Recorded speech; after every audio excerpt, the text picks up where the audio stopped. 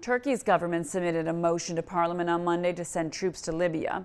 They would be supporting the government in Tripoli. The UN backed administration has been under attack from rival forces which support the parliament in the east of the country.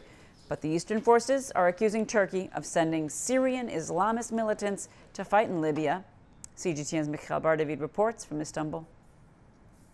Turkey's parliament is expected to convene on January 2nd for a special session to discuss the potential deployment of Turkish troops in Libya to support the UN-backed Government of National Accord. Turkish President Tayyip Erdogan signed a maritime boundary agreement and security deal with the leaders of the GNA in November. On Monday, Turkish Foreign Minister Mevlut Çavuşoğlu held meetings with the main opposition Republican People's Party CHP leader Kemal Kılıçdaroğlu and with the E Party leader Meral Akşener. Behind closed doors, Çavuşoğlu explained why the ruling government believes it is necessary to send troops. Following the meetings, while the main opposition CHP announced it is still going to vote against the motion, E Party stated it is yet undecided.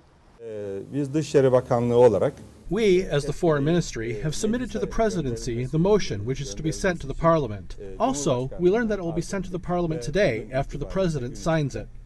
The motion sent to the parliament states that the humanitarian situation in Libya is worsening due to the attacks, which also target civilians and civilian infrastructure.